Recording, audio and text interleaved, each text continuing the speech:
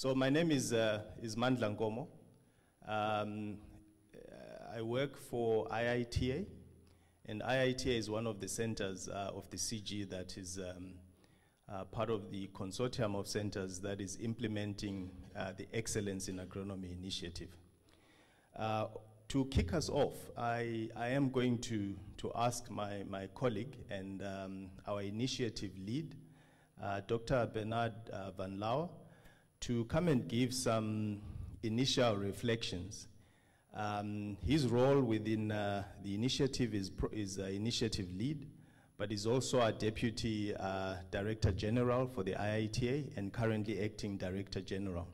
Uh, Bernard is a soil scientist uh, with a lot of experience in um, trying to resolve some of the, the challenges that we face on the African continent around how do we help farmers get more from the labor that they, they deploy. So, Bernard, I'm going to ask you to come and uh, just give uh, some initial uh, keynote reflections, uh, and then we, we invite uh, our colleagues to share some of the work that we've been doing as Excellence in Agronomy. Over to you. Yeah, thanks, Mandla. I will sit down with your permission. Welcome to this event, which is co-organized with uh, FARA. As Mandla was saying, I'm a soil scientist. For, um, I think about, let's say, more than 20 years, I started working on, on agronomy in Africa. It's actually almost more than 30 years, but anyway, a long time ago.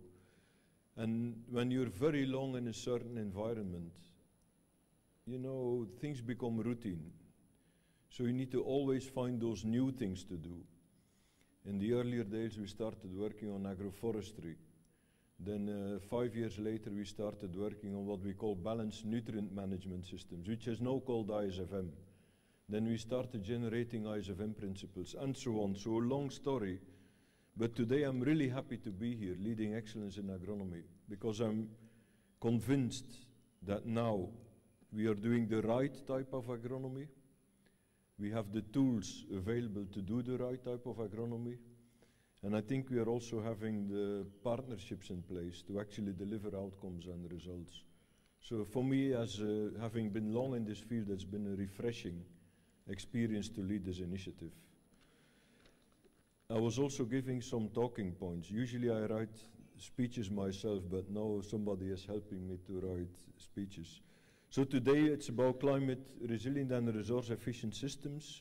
We want to explore and showcase um, the potential that agronomy has to deal with these important challenges.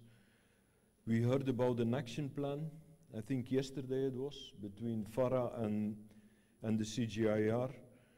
And to be honest, we started talking with FARA, I think one year ago, I think well before the action plan on how do we as, at least you know agree and work together in the context of agronomy. We have four ways forward and I'm very happy to see that they are very much aligned to the overall action plan. So we are also using this as an opportunity to thank FARA to have engaged with us and to continue working on implementing our own, our own action plan. So this initiative, as I said, we are absolutely committed to fostering climate change adaptations through advancement in soil health, yield, uh, water use efficiency and nutrient use efficiency. You see the, the indicators on the right panel. We call it agronomic gain delivery. Um, I think we all heard or the world knows about genetic gain and we in Excellence in Agronomy started coining the term agronomic gain. So if you use a new term, then people ask you, but what is this? What are you trying to do? So you need to start defining it. And I think we are making good progress in, in defining what we mean with agronomic gain. And, and of course, together with that genetic gain, that's how we will, he will make those changes that, uh, that are needed. So in this session, you will see contributions from collaborations, how we can promote some of the solutions that we are working on. Um, we have a very nice lineup of demonstrations and discussions that will show the potential of those tools and how we can further scale them. Um, thanks a lot to all the partners we have been working with. It's been a um, very nice experience. thanks to the speakers and the people that were ready to spend time here. I think together we will absolutely agree on the next steps. So please, everyone in the room, share your experiences. Make sure that we learn also from all of you. And again, big welcome to everyone, also the people online. You're very much welcome. Let's create connections, learn from each other, and pave the way so we can really help delivering this uh, resilient agriculture that we are all looking for. Enjoy the meeting, enjoy the conversation, and thank you very much. Yeah. Th- Thanks a lot, uh, uh, Bernard, for, for those opening remarks. Uh, Bernard will ask to be excused because he's also speaking at, a, at another side event that is talking about soils and, and soil health. Um, but like he has said, um, the reason why we are here is to, is to start a conversation. And the conversation is uh, after more than 50 years of uh, huge investments in agricultural research, why is it that a lot of the solutions that we are coming up with are not getting to farmers? I think what was shared this morning and yesterday about the action plan uh, talks to the need for different actors to work together in order to advance, you know, the delivery of solutions to farmers. Uh, the CG can't do it on their own. And what we are learning and learning very fast is that if we're not putting farmers at the center of the conversation, we're probably missing a few points. Uh, so it is important for us to assemble uh, the coalition of the willing. I'm going to borrow a term that my colleagues will talk about just now, where we are bringing together those of us that are passionate about ensuring that each and every farmer on the African continent the 20 or 25 decisions they need to make every year when they think about cropping, how do we influence those decisions in a positive direction? So we need partnerships. Not only the CG needs to play a role, but we also need entities like some of those that will be speaking later who assemble the actors that engage in research, that also engage in delivering advisory services. But we thought it was important to start off uh, our event today by maybe showcasing some of the work that is already taking place within the CG in terms of generating and developing the solutions. So to do that, we've invited um, three uh, groups of people uh, that we call use case teams. Uh, within Excellence in Agronomy, a use case is where we are assembling CG partners and non-CG partners to co-create a solution, validate it, pilot it, and scale it uh, to large numbers of farmers.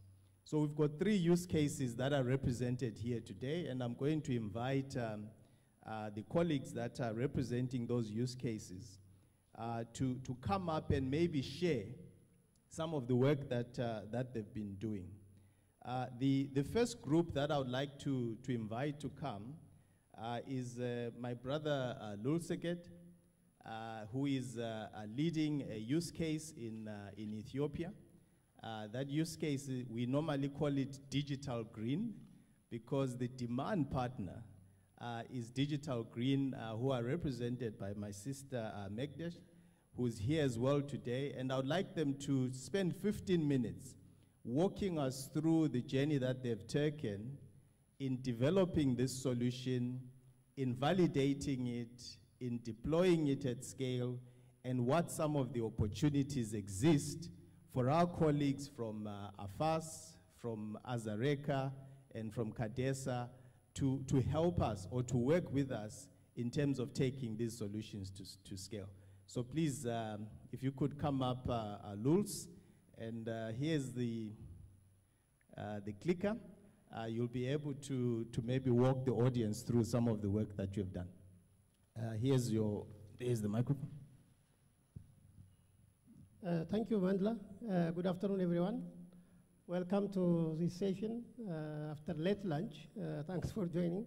As Mandla said, I will present briefly our use case, which is called Digital Green Use Case, which is about developing a location-specific disease support tool for agro-advisory decision making, and I'm representing our team in Ethiopia plus Mekdes here, who joined from Digital Green. Thanks, Mekdes, for coming. Because we have 15 minutes, we agreed that I will talk and she will support uh, during the question and answer. So, um, so we call it digital green use case in, the, in, in our setup in location context and season specific agro advisory systems that we have developed. So I will take you through the, the steps. The, the first one, the problem we have, as most of you know, is a huge yield gap uh, when you compare uh, some of the African countries with uh, uh, other countries in the world. There is a huge gap up to 40% and sometimes more, more than 40%. And within Ethiopia itself, there is a big yield gap where we have farmers mostly produce up to 2.5 uh, ton per hectare, while the, the potential is from 6 to, to 7. So this is an observed uh, problem. And the reason behind is there are so many reasons, but one of the fundamental reasons is limited use of input, including fertilizer.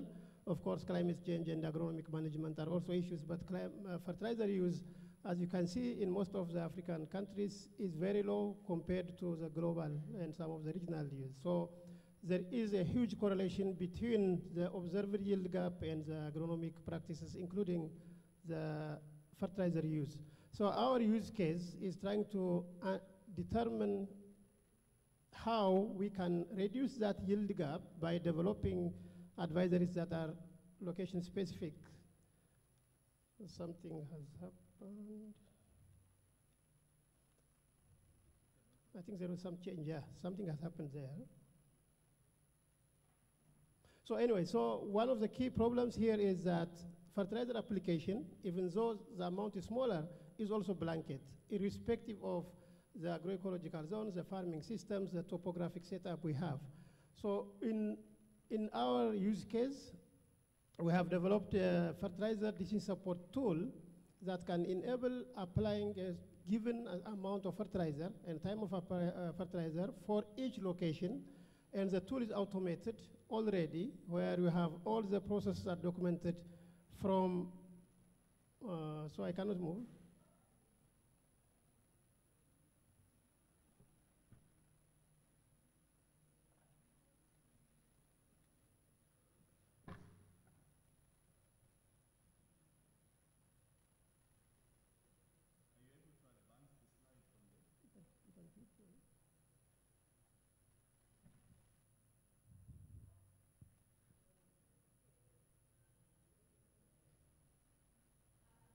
So yeah, okay. So this, uh, so I, this I mentioned already. So good. So sorry. So this is the the the DC support tool that we have developed by uh, to guide our fertilizer advisory. As you can see on the, which is not clear, on the top part, there are options to choose, whether you have organic input, inorganic input, agro other agronomic practices, including mechanization and so on and so forth, and users can choose the specific, in this, in this section, they have the option to choose a country, a region, zone, or a kebele, and so on, and they can have the, the amount of fertilizers they have to apply and the expected yield. And it produces also an automated report for the users. So a person can choose their own area or they can have administrative unit to, to integrate, to, to get that advisory. And in addition, we have this advisory which also supports uh, the onset of rains and planting dates which is integrated from another advisory systems that we have developed in collaboration with national and other partners. So this means within this use case, we can provide information on when is the probability of rain, when should the farmers plant that specific crop, and how much input they have to apply, and when, the, including the fertilizer application, timing and rate. Then, sorry, then the Oh, okay, so how we did, how we reached there is the first one, as we see, data and database, where Mandla mentioned about coalition of the willing. First, we have to get the data sets that are available because we cannot keep on doing experiments and trials every year without knowing what we have already. So we formed a coalition of the willing, where team members in the country who have agronomy soil data brought together, came together and brought their own data sets, and we have a database that's available at the Ministry of Agriculture and at EIAR. That's the first uh, set. Then we have also the covariates. So these are fertilizer response to crop data set for different crops in Ethiopia. These are about 45,000, including major crops, wheat, barley, maize, teff, and so on. And these are the covariates that we have collected, and this is stored in these data sets. Ministry of Agriculture, for all agriculture-related data sets, EIAR, the National Research Institute, is research-related data sets. Then we used a lot of machine learning and artificial intelligence approach to combine this and develop a fertilizer recommendation for each location, either in, tab in tabular form, in map, or you know, the total amount that we can.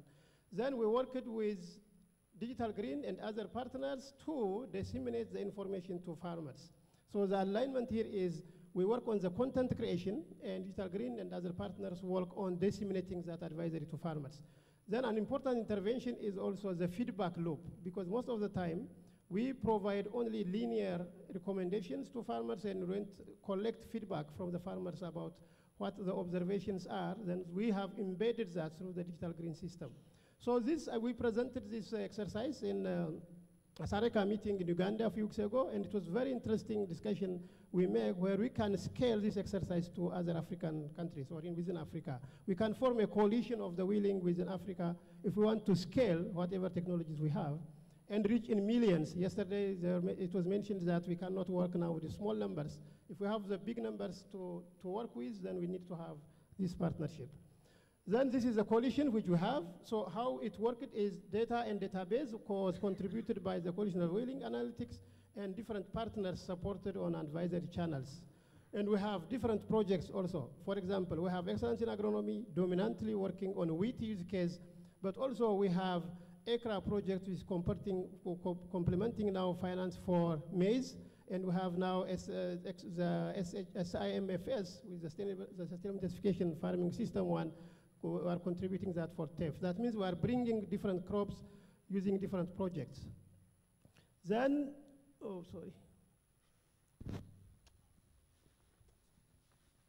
Then the results, so we have piloted the work, so we have developed the, we have collected data from different sources, we have organized the database, we conducted analytics, and we have results. As you can see, these are observations of the ground where there are big gaps between the advisories that we used and the blanket recommendation by the government system. So you can see here, for example, in the validation, we used 280 farmers to validate uh, the results, the advisory that we have, and there is up to 25, 24% uh, gain compared to the blanket recommendation. In partial profit, generally we can say profitability because the experiments that we used are more or less similar in terms of cost in labor, weeding, and so on. We have around $580 per hectare per season, which is very significant compared to whatever is happening. Now, based on that exercise with Digital Green, we piloted that advisory over 3,000 farmers, 3,200 farmers, and we gained yield of more than 38% when you compare the yield that was acquired from the farmers who employed the advisory versus the farmers who didn't apply, who used their own management practices. This was also a very significant milestone then the results, you know, in, ter in terms of the impact, we have farmers' testimonials, where a lot of farmers, we have interviews, videos, and so on, where they have indicated that they are very happy with the advisory and the yields they have got, with except some challenge of acquiring the fertilizer and in some cases the cost, because our advisory is a, a little bit higher than what they usually apply. District, district level agricultural offices appreciated the performance and they have asked to scale, and even they have, we have received from all areas where we have worked a certificate of appreciation. We are very happy with, the, with whatever they have seen, and they have asked to scale. And Digital Green now, with the formal request from the different places, we are expanding over a large number of farmers. And this year, I think we'll do more than uh, 15 or 20,000. The Ministry of Agriculture uh, has already started adopting or implementing this advisory over the whole partnership, of course, over their clusters. There is a clustering system in the Ministry of Agriculture by ATI, and they are scaling from 2023 this season. And the partnership means they are very happy with uh, how we operate with the Excellence in Agronomy framework with the Digital Green. We don't duplicate efforts. We have the content, they validate the content, and they take it to the farmers through the digital, the DS. Then the last one is um, they have also given an instruction or guidance on how we next we take it to the next level for scaling. The state minister we have presented with the state minister about a month ago, and he has given a direction and how we how we have to scale or package into the extension package through working the EIAR, and we have started that discussion with Digital Green. And this season, EIAR independently are going to validate the, the advisory because we showed our validation, but in principle, they cannot just accept, oh, okay, you gave it and take it to extension. So they said we have to provide them resources and they have to do it independently. So around five sites are identified, 50 or so farmers, and we hope that will go through, and we are very sure it will, it will go through. So these are some of the gains, and next steps, I think what is important in this exercise and excellence in agronomy is the whole workflow is automated. And you know, the whole the data cleaning, data quality assurance, the harmonization, and the advisory development is automated, and all the programs and codes are freely available. So even now, we are moving to a system called AgWise that can be applicable widely across different countries. Then the, the partnership along the data value chain or the data ecosystem is very important. And an example in Ethiopia is where we have a Coalition of the Willing, 150 people collaborating in, uh, sorry, in uh, contributing data sets. And we have experts even to do any analytics if we are interested, in addition to the excellence in agronomy. Then the dissemination channel, we have different partners, in, including the Digital Green, the extension system, LERSHA, and other private sectors who are, who are planning to engage with this exercise. So we can prioritize on need-based, expert-based uh, partnership so that we can facilitate the scaling. Human-centered design is key. Uh, I think this is very important, and we have identified in our field exercises that necessarily farmers may not only worry about the amount of fertilizers they have to apply, but the availability. So we are now moving to bundling on insurance and credit because they have indicated that the advisor is very good, but the problem is where do they get that fertilizer? So we are working on that with Digital Green and LERSHA.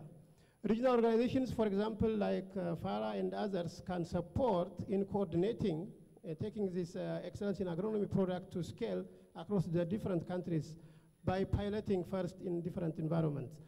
Then we have, the, as I mentioned, the tailoring and bundling is one step that we are going to do because farmers have so many issues to, to resolve. And we, we they, only, they don't need only fertilizer, but other additional things like the planting and so on are incorporated. But they have asked for disease surveillance tools, uh, credit, as I mentioned, and insurance. Then capacity building is key across the whole value chain, and we have trained more than 500 people including the farmers, the field days and events, and we have publications, because for the uh, young people to contribute their data, we have to build their capacity and incentivize them through supporting and publishing their documents.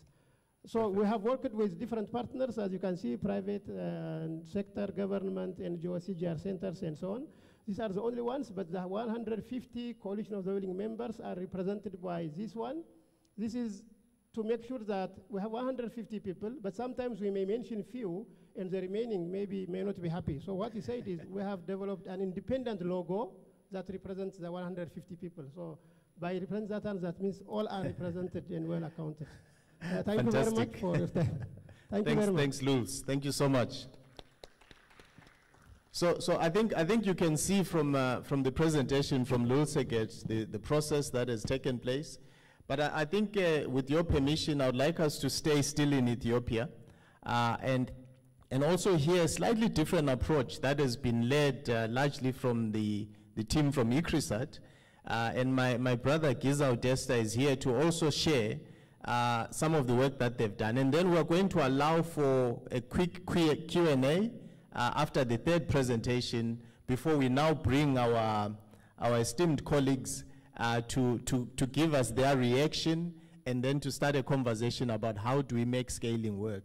Uh, now, Gizaw is, um, is one of the teams, uh, is leading a team uh, also in Ethiopia that's working with, uh, within ICRISAT, where they are trying to scale up um, uh, some more technologies around soil health management and fertilizer and fertilizer recommendations. Over to you.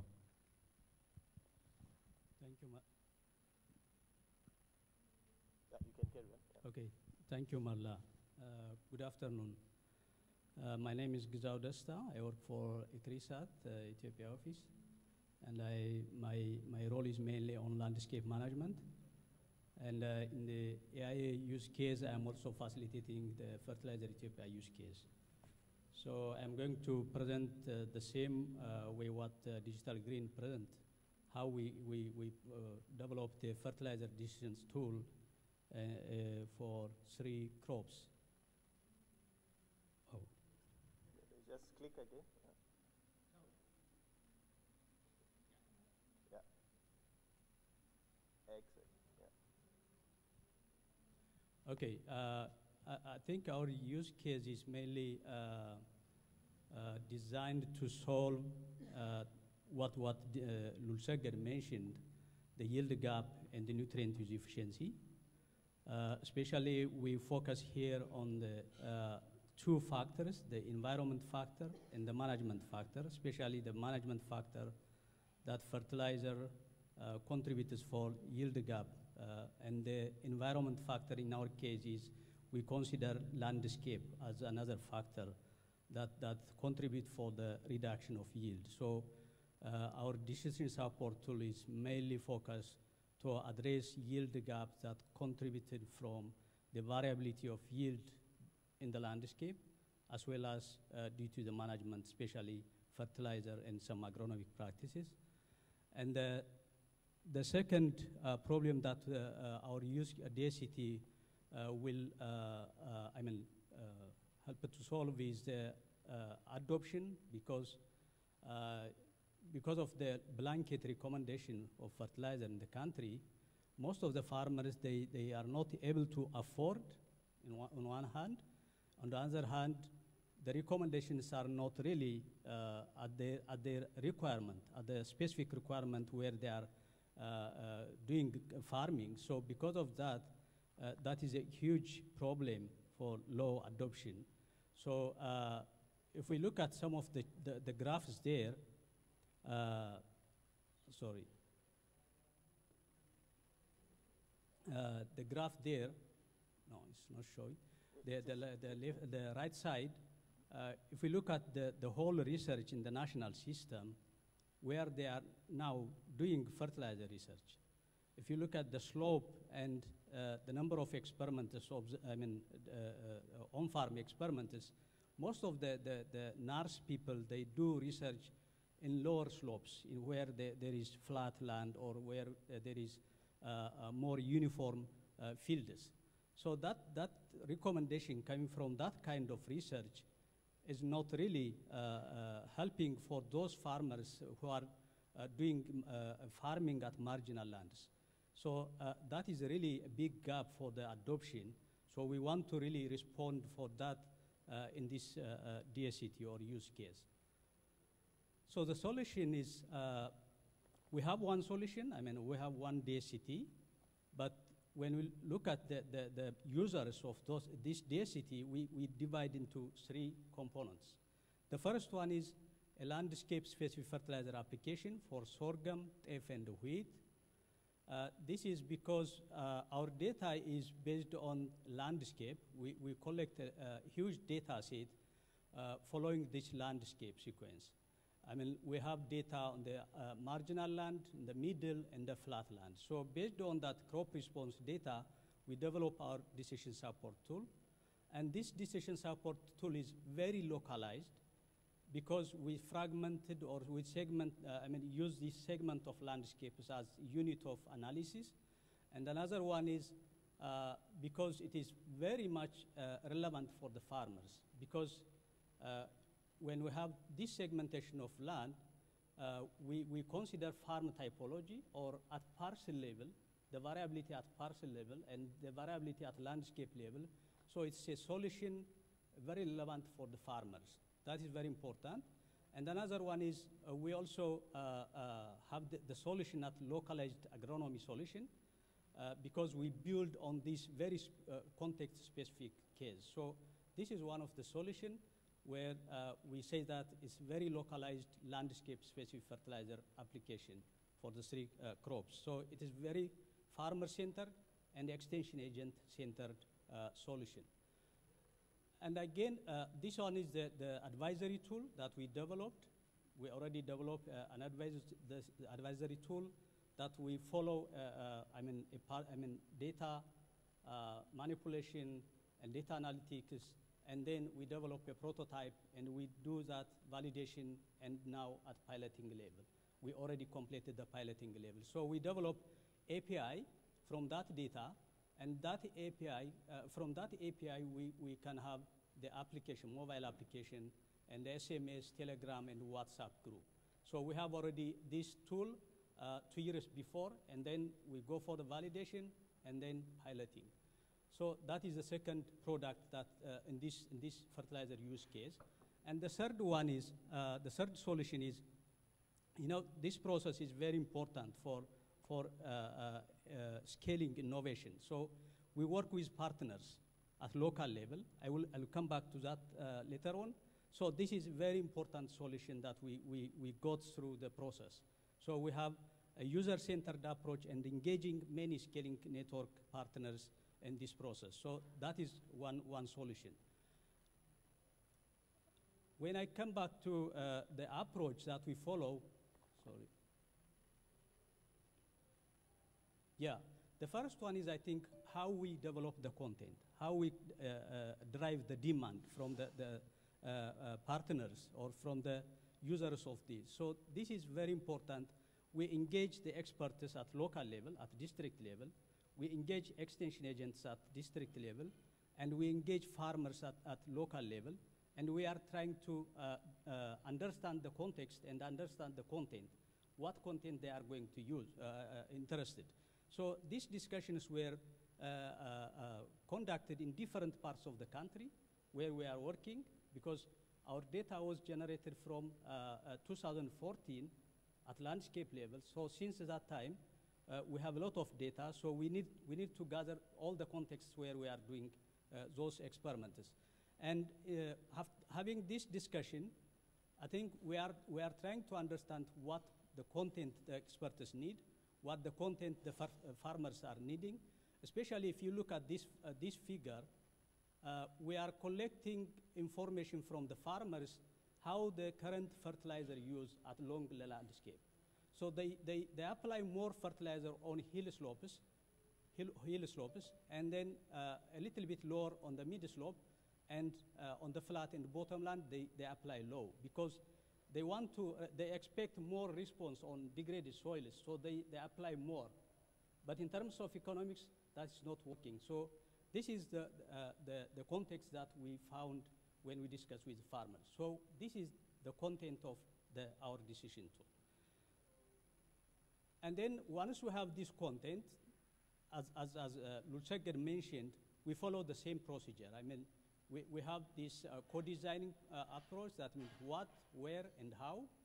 So we, we use more than 20, uh, 24,000 crop response data for the three crops, and we, we di- uh, anal- uh, do analytics, and then uh, we have a validation and piloting and co-piloting together with the, our partners at the district level. We, we start from the lower. I think we, I call it bottom-up co-development approach. Uh, because we, we, we start from the ground with the grassroots uh, uh, users and uh, with local uh, district implementers. So we have this approach that we followed, and we do co-validation, co-piloting uh, in 10 districts uh, in three regional states. And the scaling network, the innovation, I think uh, our, our innovation is centering, uh, center the extension agent. Because in Ethiopia, the extension agent is very important partner for agriculture because they are working at lower level, at Kebele level, and at least they reach 200 to to 400 farmers uh, within, within the Kebele. And this, these extension agents are facing different partners. That's why we are, we are uh, uh, focusing on, on, on this partnership. So extension agents, they face with research, they face with uh, different uh, service providers, they face uh, up to the district and to national level, and the farmers. But when, uh, so this is a very inclusive, I mean, because when we consider extension agents, they are facing different partners, so they are very inclusive of different. So this is the innovation stage. But uh, if we look at this network, I mean, the extension agent, they have a development group. Uh, uh, there are within the farmers who have devel- development group in a kebele. So in that kebele, at least 10 to 20 uh, development groups, and within that development group, there is one lead, five follower farmers approach. So the, the one to five, see the lead farmer and the extension agents are our target user groups. So we focus our approach on these two groups. And then uh, uh, the district, where we have some operational level, uh, uh, uh, uh, operational level partnership, and then the national for scaling and for policy level approach. So this is, I think, the lower one is the innovation, uh, innovation stage, and the uh, upper one is the uh, scaling stage that we are uh, doing. But I think it's not only that. We have, uh, I, will, I will come back to that later on, but we have also a community of practice. I will show you how, how we develop. So another, another uh, solution is the feedback mechanism. We have different mechanisms where we collect feedback for this. The first one is with farmers on the field during the, the validation, during the uh, uh, piloting. We have field days. We have every, every time regular supervision. So we have meetings with experts. We have joint supervision and evaluation with the research system. So a lot of team work in that, in that, in that case. So we have uh, that kind of feedback. And we also collect testimonies from farmers. We have videos during the field days where we collect feedback from the, the farmers, from the experts, from the researchers. So this is another uh, uh, feedback mechanism. But the most important that we used really in our process is the community of practice. Uh, we, we have different districts. For each district, we have one community of practice that is using social media. So those are very strong uh, uh, feedback mechanisms. Every feedback and knowledge exchange, everything we got uh, through this approach. So when I come, to the results, I think the agronomic and economic gain, uh, we can see that in the validation stage, we have this uh, yield increase, 29% for sorghum, 17% and 30%. Imagine this is along the landscape. That includes the marginal lands in the hill slope. So you, you, ca- you cannot imagine a flat land where wheat is growing or teff is growing. So this is uh, considering all the landscape conditions, we, we got this much amount of yield gain compared to the blanket recommendation, of course. And uh, yeah, this is also the yield gain, the net benefit from teff, and the best uh, benefit to cost ratio. I think that is ve- ve- very important indicator for us, the benefit to cost ratio, because when we discuss with farmers, we got those uh, agronomic efficiency that I showed you. At the end of the, the, the validation and piloting, what we are checking is whether we have uh, uh, an equal benefit to cost ratio along the landscapes, along the three landscapes, hill slope, foot slope, and mid slope. If we have some uh, uh, more or less equal benefit to cost ratio, then that means we attain our objective. Because the, the farmers, they, they have a, a lot of economic loss when they, they add fertilizer on the hill slopes. So we want to optimize that, that application and investment. So a- another, I think I already mentioned is a localized agronomic solution. What I mean is, because when we discuss with partners, they are not only talking about fertilizer, but they are talking about the seed rate, the planting rate along the landscape, the cropping system along the landscape. So we, we are learning a lot uh, in this process. So the, the experts and the extension agents and the farmers in this process, they are learning a lot how agronomy at local level looks like. And they are really uh, uh, uh, interested on this. And the other one is influence the National Research and Exchange Service. I think this is very important also in data management and using digitalized fertilizer application. In the Ethiopian NARS system, uh, digital solutions are not yet in, uh, in, in part of the research. So this is very important learning for them. But it's not uh, only the data management and the uh, fertilizer uh, uh, digital solutions, but I think I was, I was in the national system. So what, what we did in the national system, we develop a technology, and then we, when we have a final output, we provide that to the extension system. But now in this case, we have uh, a participatory technology development. We engage the extension, the farmers, and the research together at the, at the beginning of the, the, the research. So that is an important uh, uh, the result that we found. And another one is innovation scaling network. Of course, in this network, we are also creating new demands from other new partners. So that is, I think, in the national system, we, we talk a lot, and there are new, new demands coming, uh, not only fertilizer, but other demands. So that is another uh, impact that we, we, we observed. And of course, the agronomic, the optimized nutrient management. Uh, that, that's very important uh, for the current situation, especially if the fertilizer price is uh, a big problem. So the next step, I think, uh, we are already uh, planning this time. Our colleagues are on the field. All the, the districts, they, they want to expand and they want to scale. So that is uh, one of the, uh, our next step. We want to reach, actually because of the fertilizer price, many farmers are not really uh, voluntary to, to engage in this process, but we are still pushing with the districts to scale to wider areas.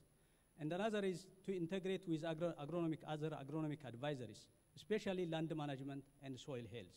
Because we are, we, are, we are dealing on the landscape, the hill slopes, they are still low yielding area, so we want to really complement with other land management practices so that like organic farming or land management practice so that we have some uh, uh, uh, improvement in the, the, agronomic response. Yeah, strengthening, scaling, and digital solution at national level that Lulseg already mentioned. We have working at national level for one uh, uh, national platform, digital national platform, so uh, we have that kind of platform in the future, and then we already started the discussion how we make that national uh, platform as, as a scaling platform for, for uh, both of the DSCTs. Okay. And of course, support research and development in fertilizer. I think currently this season, for example, the National Research System, they launch many fertilizer research trials, and uh, we are supporting all that. And we need to really support that kind of, so that our decision tools are improved uh, in future. And the final slide, I think. You need to uh, wrap up now. yeah, the final slide. I think in Ethiopia, I think we work a lot on fertilizer response. So I think our DSCs are very useful for other countries. Uh, and uh, we need to refine them in, in, in areas where, in, in countries where, uh, especially where they, they, they, they have the soil maps so it, the, these DSCTs are useful to refine those soil maps. So uh, uh, really, uh, we, can, we can expand on other countries and create awareness of the DSCT tools, get the demand partners and support the validation and fine-tuning uh, in, in, in other countries. And we need to really bring different partners together to work on this. And finally, especially, uh, I think, especially for these regional initiatives, we want to really integrate and plan an action for, for uh, testing and scaling these uh, DSCTs. Uh, because uh, we are, we are discussing now in Tanzania with our uh, uh, another partners how we can really use this DSCT in Tanzania and so on. So I think these are some of the recommendations that we have. Thank you very much, Van. Thank, you so much, Gizaw. Um, I, I, think uh, if you are as, as, as old of, as some of us in the room, it is really exciting to, to see the agricultural development that's taking place in Ethiopia. You remember that uh, when Dr. Adesina was also speaking yesterday, he made a point about the fact that Ethiopia, for the first time, is moving in the direction of wheat self-sufficiency and might actually be exporting for the first time this year. Uh, that did not happen by accident. Some of what uh, my colleagues have just shared now are the efforts that I think have contributed. But we've got a mandate that we've been given by our seniors yesterday to say 20,000 farmers is not scaling. So as you are sitting there, I would like you to be thinking about how are we going to move beyond these islands of success in Ethiopia to a sea of change you know, across the entire African continent. for me, that's what uh, keeps me awake at night.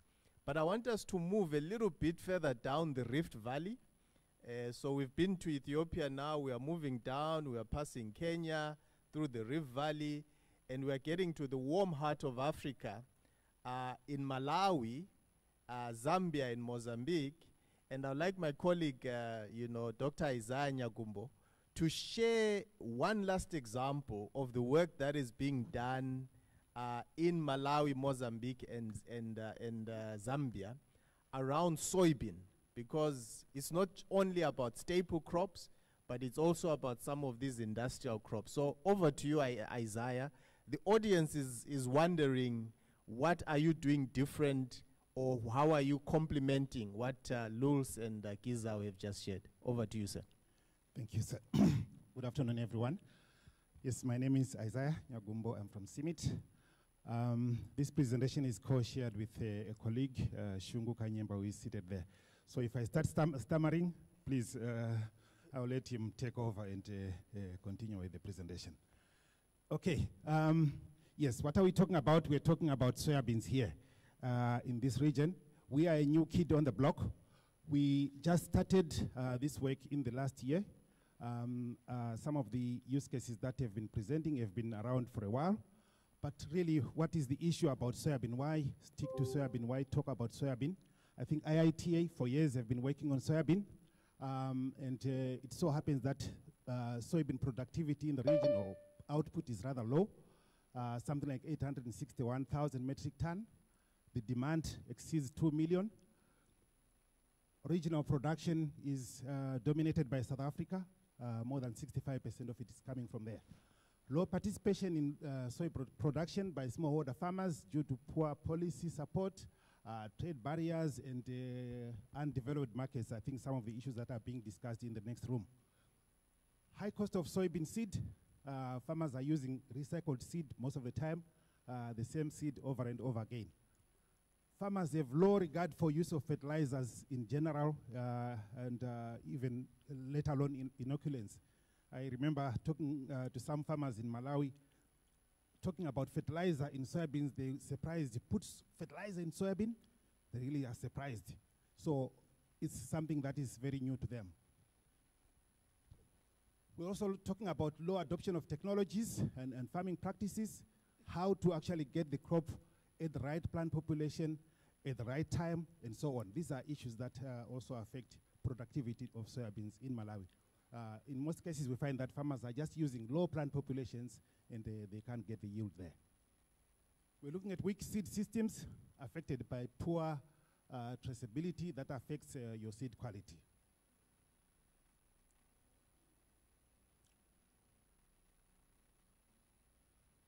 So, um, having uh, looked at that, we said to ourselves, how shall we uh, tackle this issue? What uh, are the key or what are the key characteristics of the needed solutions that we need to uh, focus on? And we felt like one of the interventions, one of the issues was that the interventions needed to align well with farmer priorities. They needed to address current challenges in soy production in the Chinyanja Triangle. We also needed to be focusing more on what I could call low-hanging fruits. Uh, that is, they should be fairly easy to set, set up and implement. Then we also needed agronomic re- recommendations that would be availed to farmers via some kind of mobile platform. I think yesterday we heard about the youth. The youth are no longer interested in the traditional ways of extension that we used many years ago. The youth are really keen on these digital uh, facilities. So if we can kind of avail this information via some mobile platforms, then uh, this should uh, uh, align well. Then we're looking at solutions that ideally should be validatable. In other words, can we test uh, their usefulness uh, once they are set up?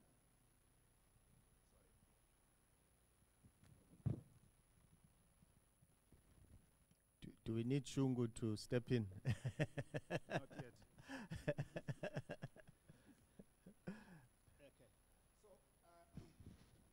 What was our solution? I think we generally felt our solutions needed to be uh, focusing on the challenges identified by uh, farmers in the Solidaridad sites. Solidaridad is an NGO that is already working on soybean in the uh, Chinyanja Triangle. Looking at verification of the identified key challenges with experts. So this idea of co-creation that was also discussed yesterday is something that we have also taken very seriously. Brainstorming of solutions with stakeholders and ideation in workshops and the development of then what we would call priority uh, interventions. Sorry. Uh, doesn't move? Okay. So, what have we kind of uh, settled for? All these issues is really what we kind of came up with. Uh, but the last five, six, and uh, seven, so links to output and input markets, uh, setting up services, planting, shelling, handheld machinery, and so on, pests and diseases, are the sort of uh, issues we kind of felt we couldn't tackle, but they were considered very, very, very important.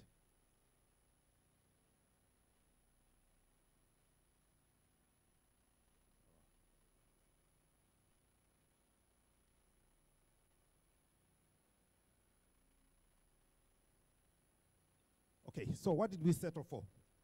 Uh, we decided we wanted to have uh, an application that is run on a mobile phone that is simply addressing four main components. That is, what soybean variety can a farmer grow in a specific area? When can they plant it? What fertilizer should they use to grow it? And how can they grow it? So this tool, we're envisaging that it will operate on the Akilimo framework. So we're copying from our brothers from the north. Um, and then we'll actually operate it on the Solidaridad framework. And it will uh, use some inputs from our uh, transform uh, colleagues. Uh,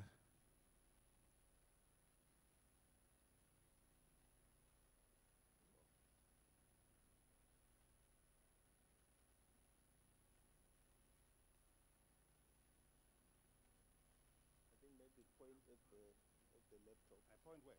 At the laptop, yeah. No, no, yeah, okay. yeah, yeah. Okay.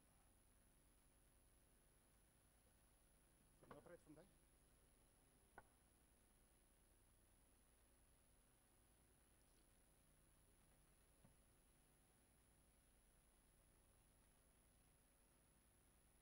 Shungu, can you uh, explain this one? Uh, thanks, uh, thanks, Isaiah. Um, I think so. The relationship between uh, Solidaridad and EiA is one of, uh, you know, it's one of those uh, amazing relationships that came to being. We as Solidaridad, um, uh, which one is the the one that does the yeah, all right, the middle one. All right. So we as Solidaridad, um, for the past um, from about 2017 have been working on what we call digitally driven uh, advisory. Uh, as uh, any NGO, we've uh, really mastered the art of taking farmers, putting them under trees, and, and explaining to them things. But having seen the technology revolution of what's happening in banking, we actually realized that the relationship between a farmer and uh, the organizations that work with them is actually going to become more digital. Uh, uh, what we're seeing in banking is also going to transform.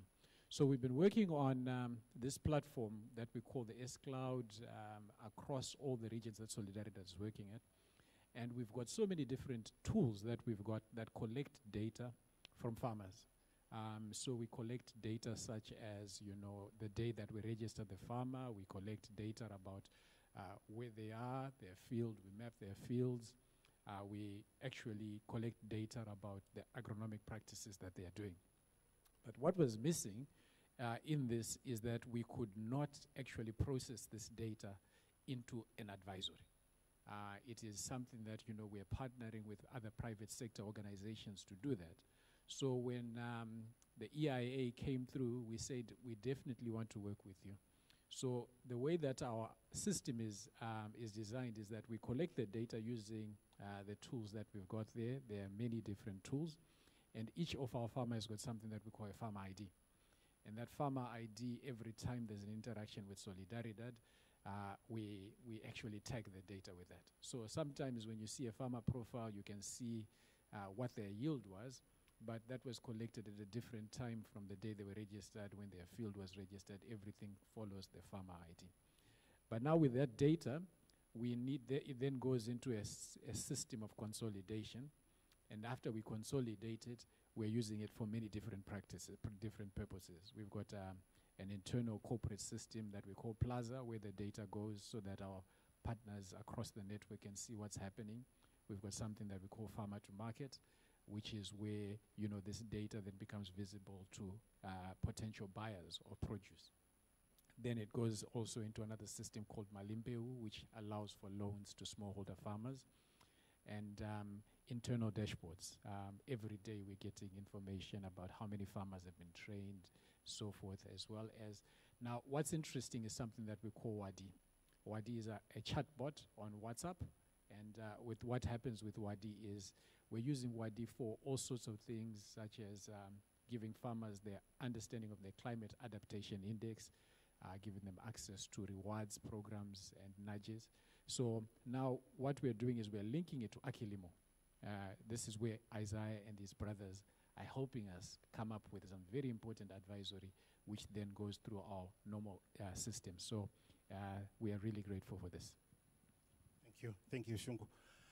Okay, so we continue. Uh, You've got uh, two minutes, two Chief. minutes. Okay, we'll uh, rush it through. Had it not been for this, I would have finished. okay. Um, I think what I just wanted to bring to your attention is that uh, uh, we have noticed that there is um, a serious yield gap between what is obtainable and what is actually being realized from uh, farmers in the in the uh, three countries uh, in Malawi, Zambia, and Mozambique. The potential versus the actual uh, yields that are coming from the research stations is very different, and also from the experiments. So there is a large yield gap to be closed, and there is a lot of work that we need to do. Just move it, move it forward for me, please. Okay. So literature is also showing that if we use uh, phosphorus input, phosphorus input is very key. Uh, please move on. Um, and uh, also that uh, if we apply or use inoculants, we also go a long way. Something like 24% yield increase on average in the region is what is actually kind of emerging. Um, move on, please. yes, and also then if we look at uh, varieties and planting date effects, we're talking about uh, the correct timing of planting being a very key factor, as much as 300% uh, yield variation between the correctly timed and the late plant, uh, planted crops. Farmers are already using mobile operated weather focus in the uh, Chinyanja Triangle. As you heard from uh, uh, Shungu, uh, Kivuno are already working on that. So these farmers are already using their mobile phones to tell you what tomorrow is going to be like in terms of weather. Planning date and uh, variety experiments have also been established. As you can imagine, we are trying to also learn as we go and uh, get new information to feed into this model or this dream uh, application that we want to establish. Localized on-farm production of improved seeds by Solidaridad is already helping uh, to curb recycling of seed. So what you see in the picture here is already seed that is being produced by farmers uh, and selling uh, amongst themselves locally.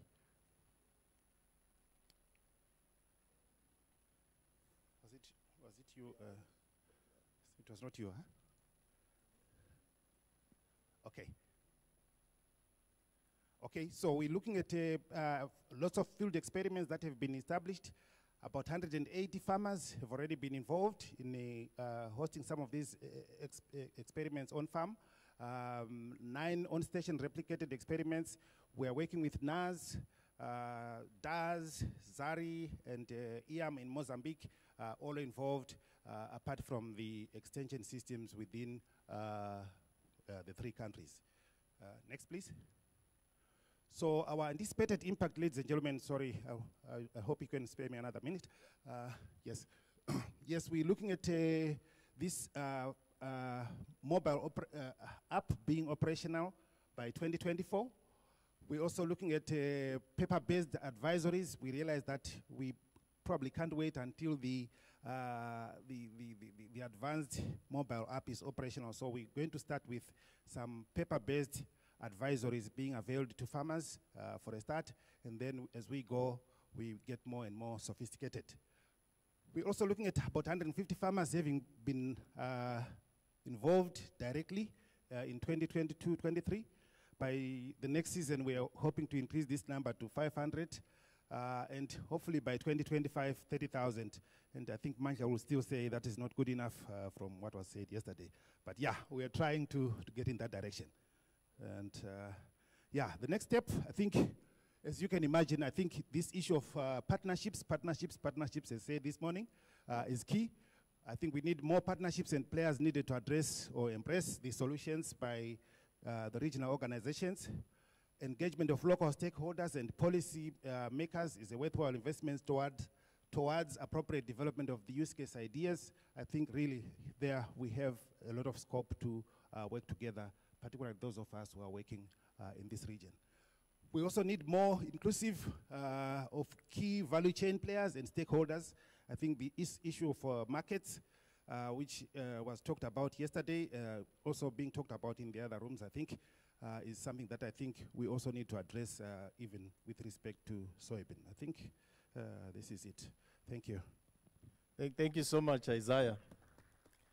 I, I, I think uh, for me, what, what I'm excited about is that uh, I, I honestly think that Adesina's dream uh, can become reality because it's very clear listening to the colleagues who have gone before us that the solutions are there.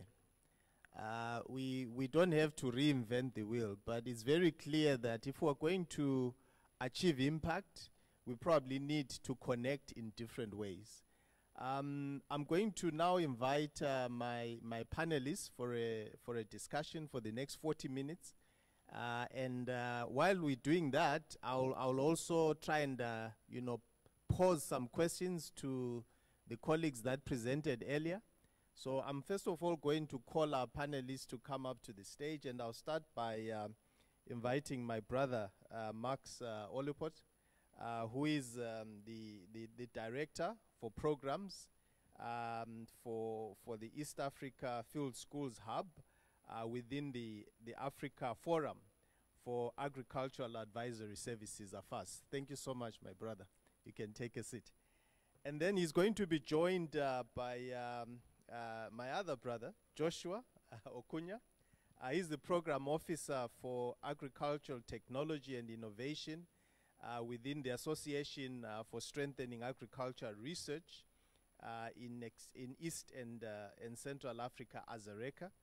Joshua, if you could um, join us as well. And then I'll, I'll end with my brother Baitsi uh.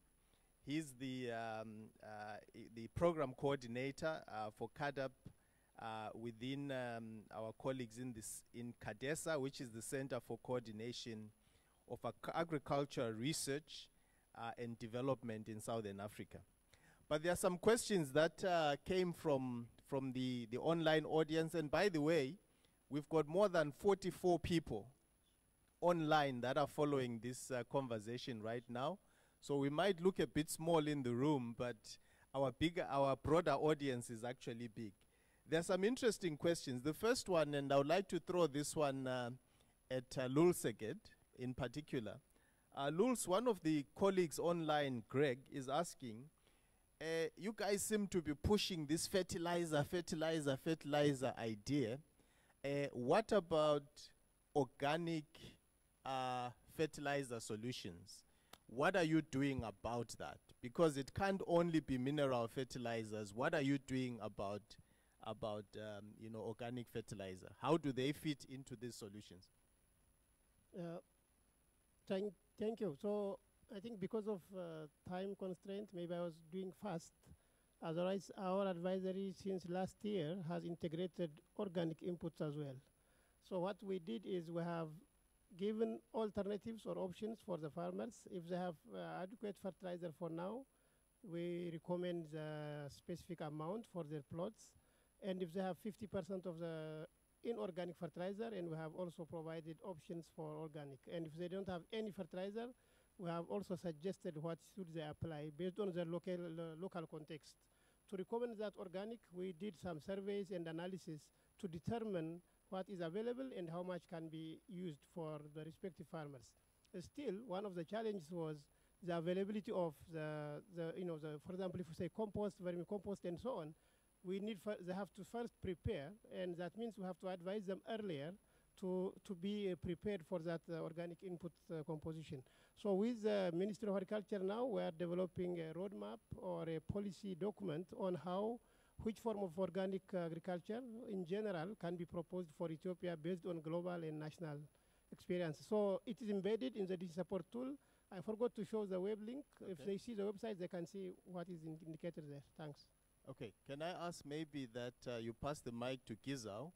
Gizaw, I like the approach that you are taking around uh, not only looking at uh, the, the soil health or the soil fertility, but now embedding, you know, the issue of, uh, of, uh, of landscape. But even in your case, you are asking people to buy expensive fertilizer. Uh, why are you not also including, you know, uh, the organic solutions as well, or taking an integrated soil fertility management approach? Yeah, I, I think that's very important uh, because we are talking about landscape. And in the landscape, uh, we the, the yield variability is because of the land degradation. And for that, uh, the response of inorganic fertilizer is not, not uh, uh, very effective. So uh, we, we need alternative solutions. So one of that is organic, not only organic, but when we discuss with farmers, they have different options like the cropping system is very important because most of the crop rotation uh, in Ethiopia, in the hill slopes, they, they use different uh, diversities of crop uh, rotation. That is one thing. And another uh, is the, the land management. I mean, uh, it is also one of the components for, for maintaining the soil for long-term uh, maintenance of the soil fertility. So in our case, I think we already launched the ISFM trials at national level with the National Research System. I think last year we have we covered many areas, and this year we will continue. And from that database, and including the national uh, organic database, so we, we can also have a very uh, location-specific organic recommendation in future. Yeah. Fantastic. Thank you so much, uh, uh, Gizaw. If you could maybe Shungu pass the you know, the, the microphone to my brother Baitsi. Uh, and then uh, let's, let's hear from our colleagues who are, I think, working at, um, you know, at a sub-regional and continental uh, uh perspective. I'll start with you, Baitsi. Um, you, you've heard, uh, I, I, hope, some interesting solutions and advances. I, I suppose my first question to you is, uh, is, is this scalable in your view? uh, how does it support the CAADP process? And how can the CAADP process benefit from the kind of research that has been done by, by the colleagues here? Over to you, sir. Yeah, thank you, and I also appreciate uh, for being invited to take part in this uh, important engagement. Yes, uh, I, am listening to the presentations, uh, the issues that have been uh, proposed, even the approach I like the way that they were participatory. It means uh, the end users were part of the co-creation, which is quite important for, for ownership. And um, I, uh, and personally, I feel the, the issues that were brought, the solutions, they are also very contemporary. Yes, I've seen a lot of applications in terms of apps which are going to be used. As you, as you know, the majority of our, our population in the region are the youth and women and I think this will speak especially to the youth if we want to bring them into the fold. I also uh, appreciate the fact that uh, we think what is what the what what is being done actually is very relevant to us. As you know, we as coordinating agencies we rely on partnerships, and we have a long-running culture where we've been working closely with the CG centers. There are these regional integrated initiatives, for example, and with which we try to uh, network with them because we promote the spillover of technologies. Uh, we have um, some strategic platforms through which we're able to take these important outputs and disseminate them.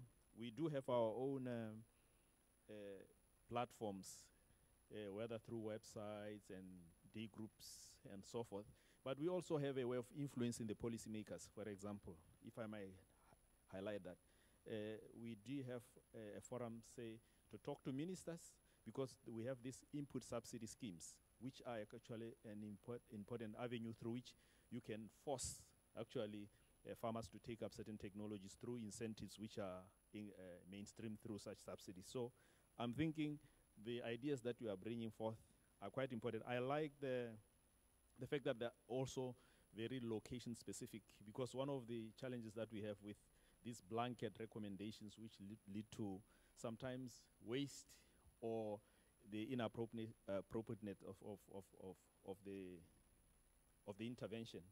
I I don't want to exhaust the bag, but I'll I'll have a chance to maybe uh, make some more inputs. But uh, I just wanted to highlight that indeed I can confirm that what is being proposed is relevant, especially that it was co-created with the the users and it's exploring different avenues, looking even uh, into the, the social aspect of whether these things will be very acceptable and so forth. Thank you. Uh, before you hand over the mic to to uh, to, to Joshua, uh, I, I would like to pick up the point you make around uh, the fertilizer or subsidy schemes.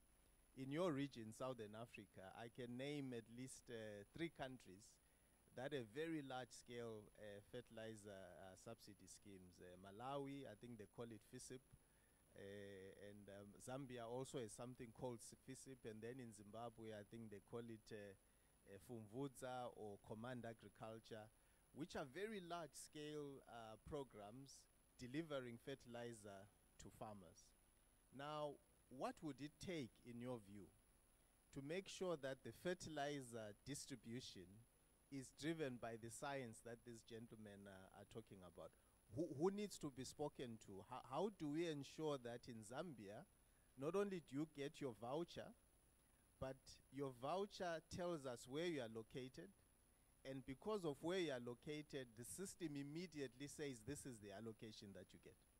Yeah, thank you. I think uh, we've reached a stage where, because of technology and the the coverage, say, of uh, telephony, such that the use of mobile phones and the like enable us to get a lot of data, uh, very convenient. But we know we have a challenge in the region where they, our policy making not necessarily evidence based, and increasingly we've been trying to say that the the interface between our researchers and the scientists is, is quite weak. Uh, we, there's this issue of the knowledge translation. Uh, often we get scientists, we gather and we talk to ourselves, but the people that we need to reach ha- hardly comprehend what we are talking about. That we need to find a way in which we can break it down to make it understood by the public such that they can appreciate the value of this investment. Um, the, for example, uh, I know recently, uh, I think last year in October, we convened a, a dialogue, a policy dialogue, which was centered around issues of access to fertilizer, especially in the advent of this uh, Ukraine-Russia conflict. And one of the issues that we brought about was the possible role of how input subsidies, especially uh, fertilizers. We know most countries are really underdosing because of sometimes the recommendations that are made. Uh, there are other implications behind why uh, politicians want to give out subsidies. so because of that, we are saying, can we increasingly, as technocrats, especially scientists, find a way in which we can come out on national radio, TV, and talk the language which these people can understand and increasingly engage the policymakers. We, in that dialogue, we also talked about organic solutions which are likely to be taking more center stage. We know a lot of development partners who are embracing the issue of agroecology, and there are still some skeptics, but there, there is a volume of evidence that is out there. We just need to find a way of bringing it out to see how it can be part of the solution, not necessarily a silver bullet, because it takes a while even to build up the solutions. Thank you. Baitsi, thank you so much for that. And, uh, and I think you raised an important point that politicians want uh, respond to numbers, right? But if, uh, if, uh, if I heard Gizaw, he's talking about 27% yield increase. And I think, Lulz, uh, you even went as high as 38% yield increase. I think that would be a happy electorate, and hopefully we can get an opportunity through you, Baitsi, to, to maybe share some of these examples. But let's shift to our innovation and technology guy in the room, and that's, uh, that's Joshua. Joshua, you saw there that, uh, you know, we are talking about machine learning, we are talking about, you know, using uh, uh, uh, mobile applications and all these chatbots. Uh, from your experience as ASARECA, uh, is that really scalable or these are, are nice fancy apps that we are developing that no one actually uses? Thank you very much, moderator. yeah, I would begin with a, a short answer that yes, these are scalable, but uh, to who? I think when, what we, when we are talking about farmers going forward, we need to define which farm are we talking about. Yeah, we have the small scale farmers. Those, those are maybe either have less than five hectares or one hectare, or depending on which country you are, you are from. And then we have the semi-commercial, and then, then you have the commercial, who are a bit uh, economically empowered. So with that semi-commercial and commercial farmers, those ones are they are educated, they yeah they are literate, th- they have the smartphone, they can they have large areas of, of production, they are able to use these digital digital apps. So with with that category and class of farmers, I think this absolutely is scalable and it works. Yeah, they are in places where there's internet coverage. They can afford the cost of of of of, buy, of, buy, of buying data. Yeah, but when you come to the to the less than two hectare, less than five hectare farmers, I think who most of them are in rural areas without who are off grid without connection, they struggle to charge their phones if they do have them. Most of them have the the future button phones, non-smart. So it takes time to penetrate them using their the, the smartphone apps. Yeah, even the ones who have them are men. Most of them are men. Yet the, the in that category of, of smallholder farmers, you find that majority are women. So you end up missing a, a certain proportion of, the small-scale rural poor women farmers. So, So, what could be the solution, uh, Joshua, in your I, view? I think the solution going forward when you are developing, say, the apps, y- you shouldn't only lock yourself to the plat to the smartphone platform.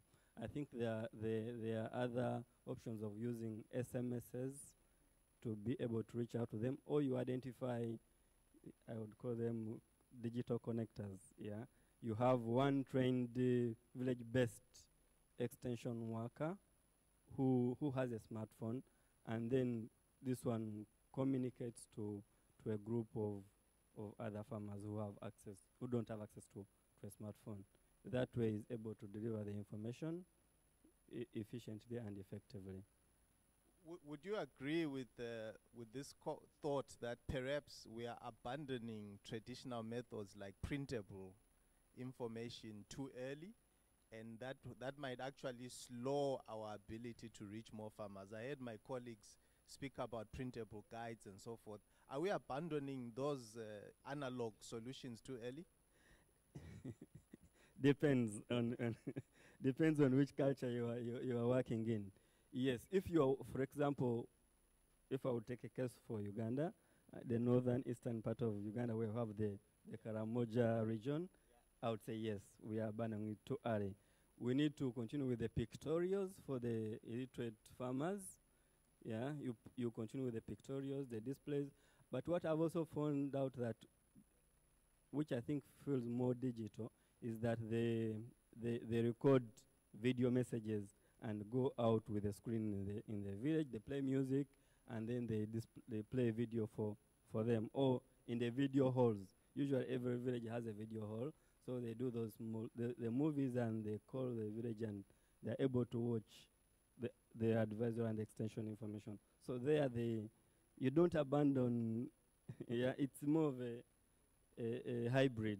Yeah, so you continue with the traditional, yeah, paper-based extension service, but also you bring on the vi- the village-based, but not necessarily through the mobile app, but through village speakers and screens. Brill- Brilliant. I- I'm going to bring Mekdes in a little bit later to share a practical example from Digital Green. But I want to shift to my brother Max. Max, uh, you know, you you sit at the top of an organization that, uh, in my view, has got a huge task. Right? If uh, if AFAAS fails, all these dreams that Adesina was selling us are not going to happen because you are the people that are packaging and delivering advisory services. Now, a lot of what we've heard today is talking about this modern agronomy where we want site specific, we want location specific, we want timely advisory services. How on earth does uh, your network of members, uh, you know, deliver things which are site specific, location specific, and timely? Wh- wh- how, what needs to change, or what are you already doing in that direction? Over to you. Thank you very much, uh, moderator. Uh, I start with, uh, first of all, little corrections. One, uh, I work for AFAAS as the director of programs. But the second one is a privilege based on my background. That's why I coordinate the East Africa Field School Hub. The reason is that my blood flows a lot of farmer field schools. So, that, and uh, also, uh, just to remind our colleagues from the CGIAR, while I'm purely an extension, my first job was in CIP. So I am also a, a grand a grandson of the CGIAR. So, so I, I hope you heard what Max is saying. He is the Pope of farmer field schools, but is also a grandson of the CG. So Y- please yes. w- So- so I- mark that, yeah. I talk from the mixed point of view, and um, just like you, you mentioned, uh, I want to first r- respond to something. In real extension world, in real way of reaching the farmer, there is no straight path. I think you have to innovate, navigate, and then come back to innovate with the farmers, and then deliver the solutions together and that's what makes the extension very unique. That's what makes um, scaling very unique because you get the solutions from the people you work with. So the way the architecture of AFAAS is formed is that uh, AFAAS as a as a continent organization, of course, I'll go back to a very important speaker this morning who said three things: partnerships, partnerships, And partnerships. partnerships, yeah. So uh, it's the same approach that we do um, at- because we work with the SROs, we work with the FARA, we work with the CGIAR. At the same time, we want to, we work with the farmers, and we cherish more the governments because in every conversation that we go into, I think the government has a key responsibility of delivering services to its people. So some of us, the CGIAR, uh, the SROs, AFAAS, we are complementing the government's efforts. Therefore, even the approach that we put, even the digital green that we have worked with uh, through the, um, the developing local capacities of extension, worked with you very closely. All this need the government to be part of the equation for the reason I call institutionalization. Institutionalization. I've seen a number of uh, great approaches being done, but as we walk away, we go with them. So i- i- this is a problem. The CGIAR, myself, uh, when I used to work with the field schools, when I went away, the field schools were starting to die the day I was leaving, and the old women were saying, "Hey, when are you coming back?" So the government are the driving force together with the farmers. So how does AFAAS work? For us, we've set architecture in that we have AFAAS as a continent organization with a secretariat, but we work with what we call the country fora.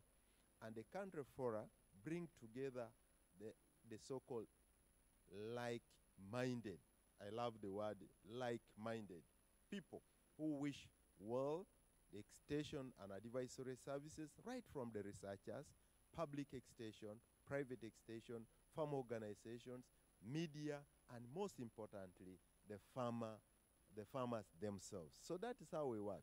So how do you package this information? By involving these people as a platform.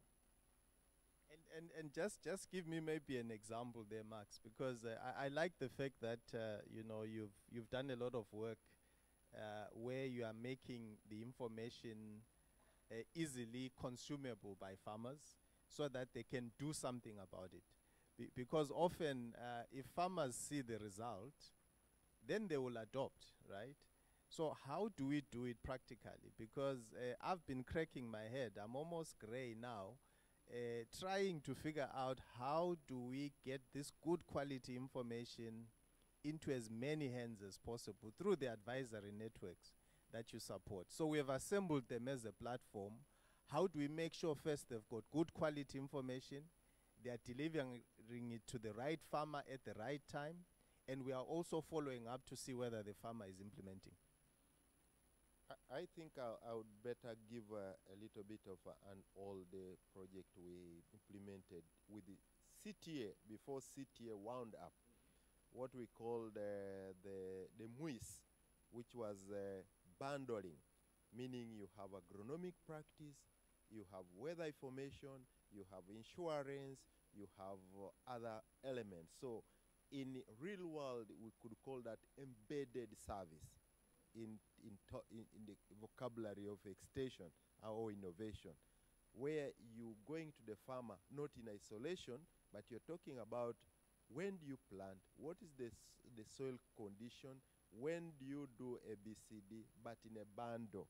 So we've done that together with the, with the, with the NARO for Uganda, with the AGRA, uh, we, we did that together with AGRA, but also with the, the local governments so that we, we could go to northern Uganda, for example, uh, do what exactly uh, colleagues were talking about, have a profile of a farmer, and you know precisely where this farmer is. You can geo reference and be able to tell where this farmer comes from, but also you have a clue of the, the geography, but also the, the, the climatic conditions within the area about five kilometers radius of that farmer. So when you are giving the advice, you are really almost precisely giving a fair advice to this farmer on SMS. But you don't stop there. You have some of these, at least extension people who interpret. The challenge sometimes is to send somebody information, then you stop and think the person is understanding the information as you do. That is a small mistake we do as a development uh, practitioners. But you also need, uh, even if a is a farmer, there are farmers who have progressively developed their capacity to be able to fill the gap of an extension worker. So that farmer becomes a, a pivotal point who will interpret the information for the rest of the farmers. Otherwise, if you send the information sent to this room will be interpreted differently by different people. Even if you draw here a head of a duck and that of a rabbit, and you ask these very high professionals, some of them may say it is a rabbit, others will say it is a, a duck. And that is what happens with the information that we send to the farm. We need also to follow up this Yes, information yes. and what my minister recently uh, called standardizing messaging of advisory to the farmers. Correct. I, I, I think I think uh, you'll agree with me when Mark says he's the pope of farmer field schools. That comes from uh, experience. What he's talking about. That it's not really just about giving people information. We need to make sure they've heard it well and they're able to interpret it. Barbara, could you just help me give give the microphone to this? I want to pick up something because Max made a point, and I think uh, you know Joshua made the same point that how do we make these things sustainable? You know, you're coming with these nice uh, systems of video uh, advisory in the farms. What happens when the money dries up? How do we make sure it carries on? Please sh- share your experience. Okay, thank you. Uh, I'm very glad that most of the things we have been doing are mentioned by the panelists as a way forward. Yes, basically the farmers do not have access to the gadgets, and if they have the gadgets, they don't have the access to to the airtime, And there is always a difficulty when we use digital technologies. So at Digital Green, what we are using is community videos. The community videos are produced by the farmers, and it is for the farmers. The farmers are featuring whatever is should be promoted as a good practice or a technology. And that video, uh, facilitated by the development workers, frontline workers, facilitated by them, will be screened to the um, to group of farmers so that they understand the process, hear it from kind of person who they can relate to, the farmers. Mostly if we get women farmers who are good and acceptable by the others, we feature uh, women farmers as well so that the other women fellow farmers could relate and aspire to be like them. So the adoption rate from the information or the advisory uh, contents shared through the videos is accepted by the farmers with huge difference uh, as compared to the kind of the extension system which is customary by DS doing it face to face or moving from place to place. So and I- that is one thing. And the other, yes, uh, you mentioned about institutionalization. Um, uh, as NGO, we are NGO, so whatever technology or practice we bring to the communities might not be sustainable if it is not embedded within the existing system. So whatever we do, we do with the Ministry of Agriculture functionaries, up from the ministry up to the kebele level, local level. So we train the government people, the local development agents, as well as um, subject matter specialists who know um, who know what is what should be uh, provided as an advisory to the farmers. So the government people will produce the videos featuring the farmers, and that's facilitated by ZDS. They will be provided by um, equipment will be provided initially by by the project, but now the government has owned that process, and it is being part of the extension system, and the government is investing on that.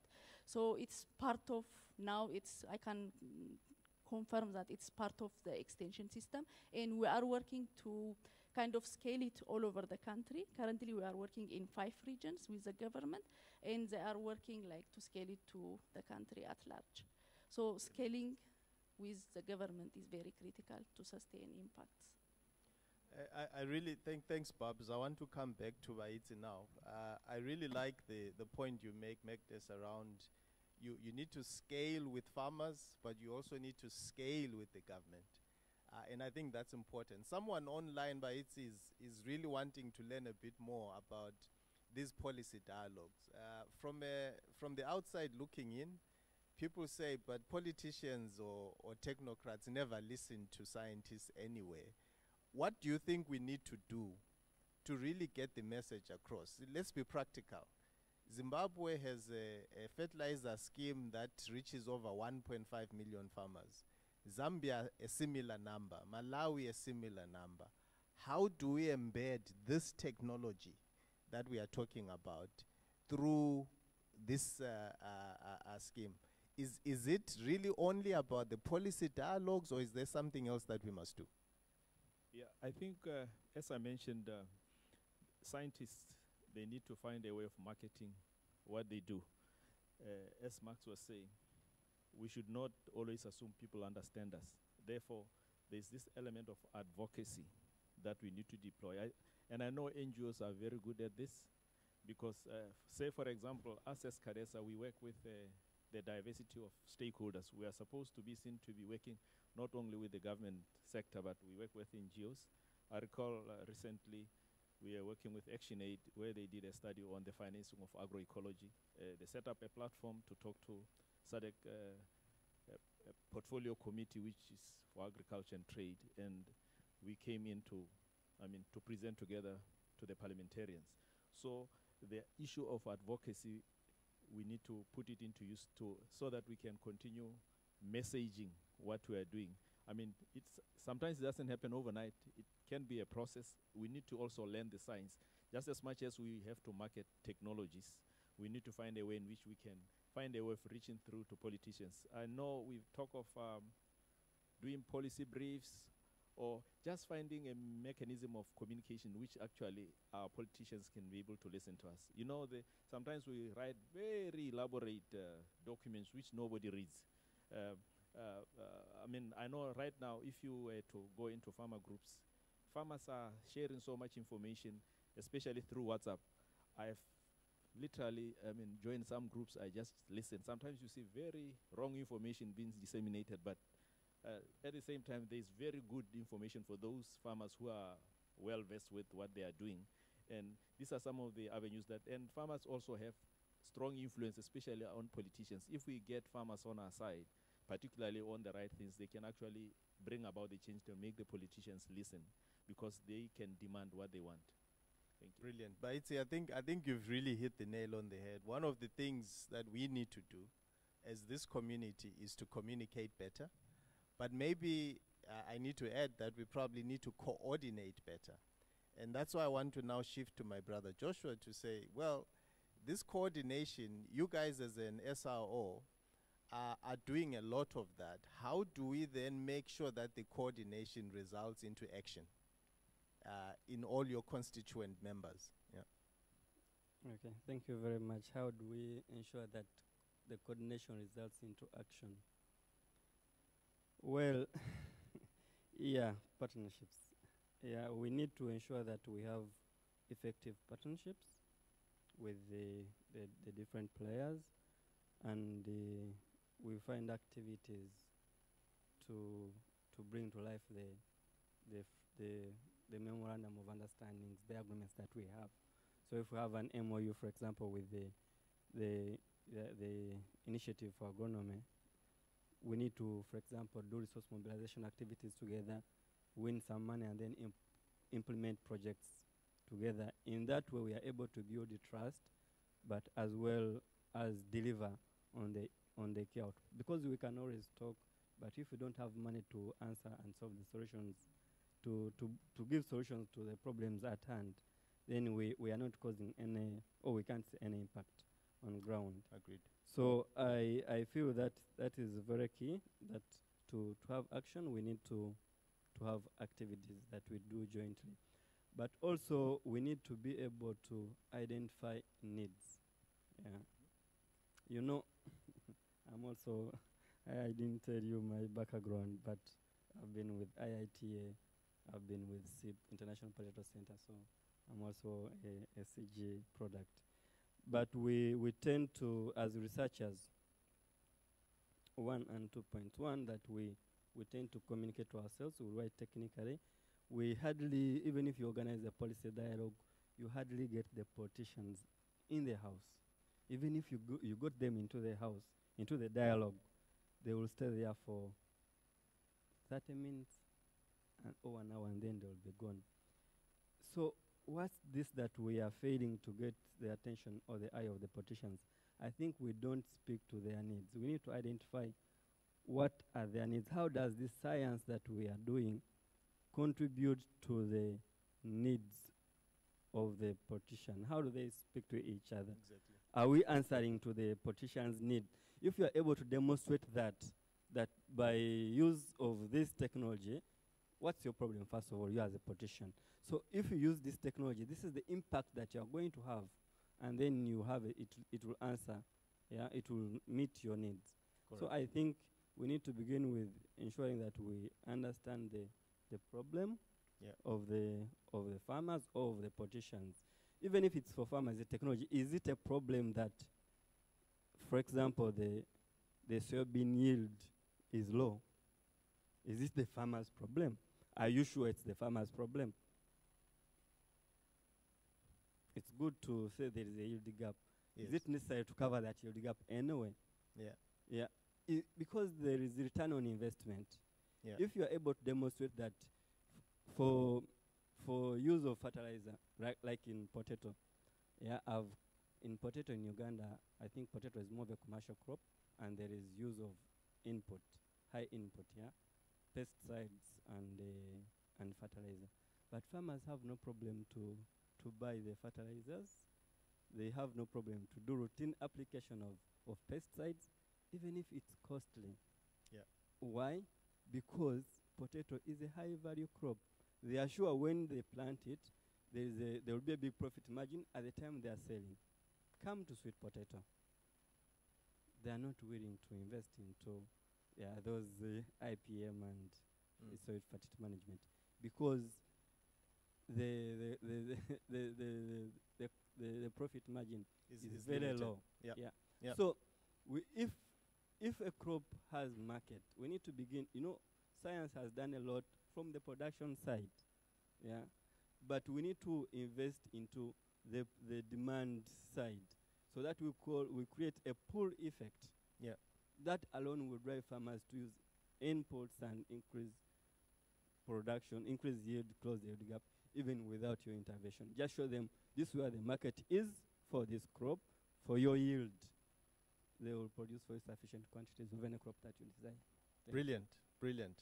Now I want to I want to move to uh, to you, Max, and uh, I- I, I see we've been joined by one of our guests. But Max, I, I, I wanted you to answer this question to say, if we were to put together a toolkit to help, uh, you know, the advisor, the advisor community out there, to better deliver, you know, these uh, climate uh, sensitive advisories uh, which can help farmers become resource efficient. What would you include in that toolkit? What do you think uh, the, the network of advisors needs in their toolkit to better deliver on the objective that we have set here? It is quite a, a very difficult question, but again, it comes back to in the toolkit, we, what do we want to deliver? Whom do we want to deliver that thing to? And why do we need to deliver that? Uh, so uh, it, it gets back to the incentivization element. Correct. Why are we putting all our minds into this toolkit? And for that reason, I think uh, I would say if really we're talking about agronomic practice that is giving us climate resilient and in terms of the resource efficiency and uh, a farming system. Now that, that goes back to what we are talking about, a system. So therefore, the researchers, extension workers, number one, need to talk very closely. Remember, these are people who should have an idea of how they work together with the. And along the conversation in the toolkit, you need, when we bring the farmer, we need to bring the other actors like the private sector, who eventually has an idea of economics of this agronomic practice is going to increase the yield by 3% or by 60%. And at that point, we need to put the other avenues, the other infrastructure, the other architecture right. There are instances when we've increased the yield by 70%, but you remain with your produce rotting. And I know this in, in, in, in areas where there are citrus growers, oranges. At the period, you have a lot of oranges that are just falling over the trees and nobody is taking. Then your toolkit is not a good toolkit anymore. But what we need is to add these private sector guys on board in this toolkit. What is their niche? How are they helping? And in fact, when we talk about digitalization, the private sector drives digitalization more than anybody, more than government. Government will drive uh, digitalization in terms of security, but the private sector will drive it in terms of business to make money.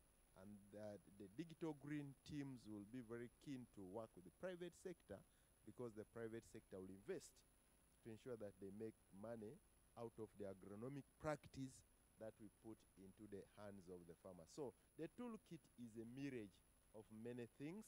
It is going to be again a multi-stakeholder platform toolkit with a lot of things, but well thought with correct content. I think that's brilliant, Max. Uh, I'll summarize it as follows that I think you spoke about the toolkit must have good quality information. It must have the right partnerships around the table. It must assemble incentives that make sense for farmers. And ultimately, it must be delivery focused with clear results that farmers can respond to. I think to be fair to uh, my brother, uh, Dr. Emmanuel, am I right? Uh, that uh, has just joined us. I, I would like to give you the last word. uh, from, a, from, a, from your perspective to say, how do we better organize ourselves to deliver uh, on, the, on the mandate that we were given yesterday to make sure that each and every farm on the African continent is getting the information, is got the right incentives, and they are able to see real results on their farms going forward from this partnership. You've got two minutes to wrap up. Yeah, uh, thank you very much. I'm sorry to be late. You know, I had a conflict, conflicting agenda. There was another session that I was chairing. I'm Emmanuel Njukwe. I'm the Director of Research and Innovation. I'm happy to meet uh, Murat. I just saw he's behind where I was entering. Uh, you know, we are willing to make use of all this technology, and CORAF operates in West and Central Africa in 23 countries. But the technology we should define how, what is the technology, how it works, and what category of stakeholders, and the cost of the technology. I don't know if this has been actually dealt with. I would want to share an experience. I was in Nigeria. We, I met some ladies. They said they were trained, and they were talking about household nutrition, they said, uh, Emmanuel, they told us, one NGO said boil, boiling of banana is not good. You know, the nutrients, quality and quantity are diminishing. You, some other group comes and say, oh, frying of banana is not good. Then another person will come and say, oh, boiling is not good, you know. Then they're now asking us, how do we, how do we now consume bananas? So the communication has to be where we really have to work more. And I'm happy we are in uh, 1CG, where the voice is now one, I, I imagine. Yes. So what we are communicating should be really factual and uh, can make sense. You know, if they tell you you can't boil banana, you can't fry banana, uh, you know, then how do you eat it? So that's you can't roast, so it becomes challenging. Uh, I'm happy that we are here on this, and uh, as I earlier mentioned, the words that are really catchy. You know, the resilient is good, and uh, we're talking about uh, resource efficiency. I also have a case when I was working with uh, Murat when in Burundi. You know, water harvesting is very important. We talk about climate change. A farmer harvests uh, water, then unfortunately he used the water to water his crop, then two hours later it rains. The farmer starts crying. That is a waste. You have spent time to store water, then you use the water, two hours later there's rain. You see? So the, the, you can imagine the type of effort you are put in to conserve the water, then use it, then reinforce natural rain, natural watering. So there should be a mechanism to actually digitalize, as uh, really said, and also information system where farmers should have an information that can guide and you know foresight. You tell them, please, by tomorrow or next tomorrow, there might be rain. So if they're harvesting water, they should know that the water I've harvested, I shouldn't waste it. Because once you use it and then it rains, then they consider it as waste. So communication to me is one. Uh, coordination, I'm happy we are 1CG. And irrespective as we are 1CG, I was discussing with uh, Dr. Atta-Krah, I don't know if he's here.